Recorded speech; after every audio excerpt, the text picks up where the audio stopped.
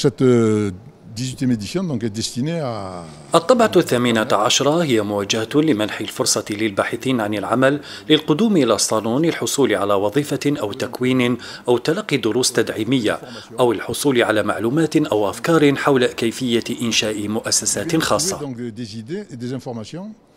euh, pour, les, pour ceux qui veulent créer leur entreprise. La particularité cette année, euh, خصوصية هذه الطبعة تمثلت في التركيز على مواضيع الساعة على غرار التحول الرقمي وكل ما هو متعلق بالذكاء الاصطناعي. Et de tout ce qui est lié à l'intelligence artificielle. ورشات عمل وهناك محاضرات آه، هناك كذلك مسابقة لأحسن مشروع مبتكر أحسن مخطط أعمال. ستقام المسابقة إن شاء الله غد ابتداء من, يوم الغد وهي موجهة للطلبة وحاملي المشاريع. هناك مشاركة 17 مشروع أكثر من 30 منافس في هذه المسابقة.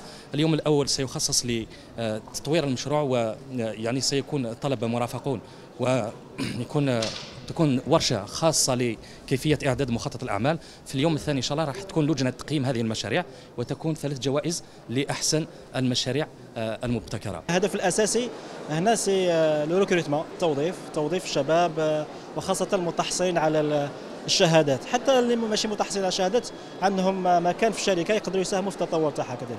الهدف تاعنا الأول هو تجسيد رؤية الدولة في تقريب المؤسسات من المواطن.